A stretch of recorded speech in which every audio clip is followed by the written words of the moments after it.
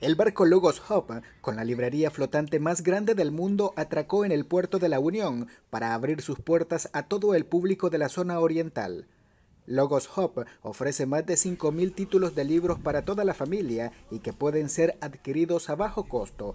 Acá encontrará diferentes temas de su interés, desde educativos, entretenimiento y hasta religiosos.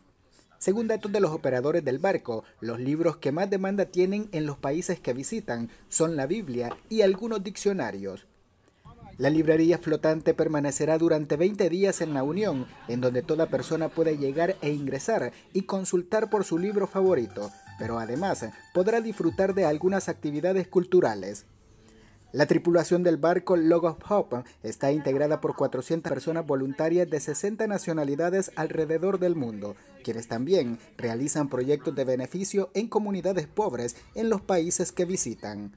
Este es un reporte para la prensa informó Juan Carlos Díaz.